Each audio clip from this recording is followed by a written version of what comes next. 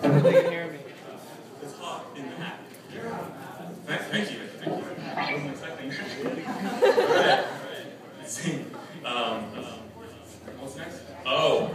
Alright, so as just like the last time we played here, I have to explain that I'm kind of a potty mouth and that this is no swearing venue, so we're not going to swear. So instead of saying the wow echoes, the F bomb, I'm going to say freaking, which is going to sound weird. So, okay. This song's called Jersey Shore Virus.